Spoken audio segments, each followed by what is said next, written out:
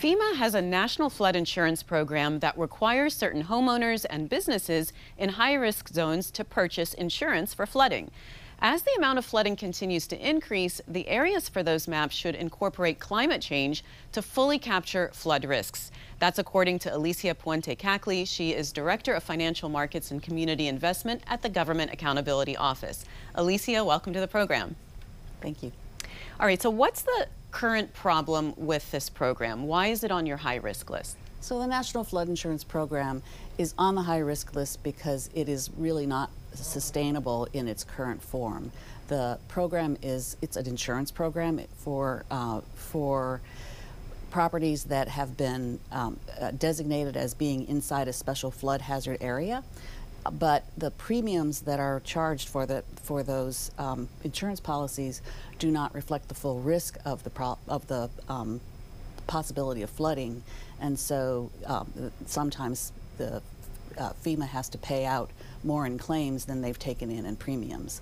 And that's just not sustainable um, uh, over the long term, and especially because when I say FEMA has to pay it out, I really mean the taxpayer has to pay it. So, what is FEMA doing currently to improve the flood insurance program? So, FEMA has just very recently changed their um, their um, the way that they um, calculate their premiums. So, the, the, the rate setting pr program that they have is now going to reflect risk more than it did in the past. Unfortunately, that also will have implications for affordability for some people's um, for some properties that are very high risk. Uh, what um, also needs to happen is is for the um, for that to be addressed as well. So. Uh, let's talk about your recommendations sure. that are in the report. Should should the whole program be scrapped and redone? So, we have done a lot of work on on this program over the years, and um, we have encouraged both the agency and Congress as a whole to really consider comprehensive reform of the program. Um, that has a lot of, of, pieces to it. It has to do with changing the way that, that um, uh, premiums are, are calculated, the, the risk rating of the program, but it also has to do with things like um, getting better participation in the program. And we have a, a recent report where we made some recommendations both to Congress and the agency for ways to do that. Um, and there also needs to be a way to address the debt that the program is in right now because the program is, is $20.5 billion in debt at the moment, and that needs to be addressed.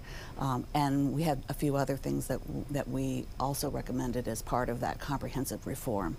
So you say Congress shouldn't be involved. How, how, show, how so? What do you want Congress to so do? So Congress created the program to begin with, and Congress has set some of the ways that the program um, is, is set up. And in particular, this uh, requirement that, that uh, uh, homeowners who have federally insured federally backed mortgages and who are in special flood hazard areas need to have insurance.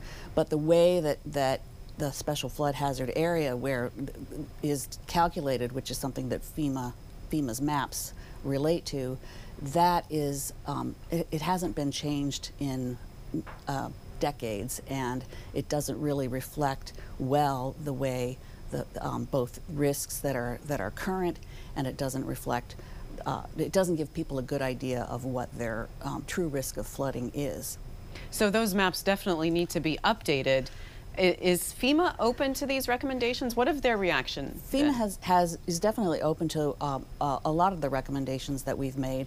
They haven't always been able to move as quickly as as um, we would we would expect or would like, but they are. Um, they, ha they have limitations. They have limitations of capacity. They have um, limitations uh, in terms of what they are, what they're actually responsible for, and and what is um, uh, uh, it, what they're not. And so uh, there's a certain amount of, of, uh, of the reform that needs to happen through um, congressional action as well. And what about other agencies? Um, are there other agencies that would be involved in improving this program? So the other agencies, the, the banking regulators are um, some agencies that have information that would be helpful to FEMA, in, especially around the area of um, encouraging participation in the program or ensuring participation in the program for those those properties that are at high risk and that are, are federally insured. So the banking regulators um, are supposed to be paying attention to, to the compliance of those um, homeowners, making sure that they actually have flood insurance.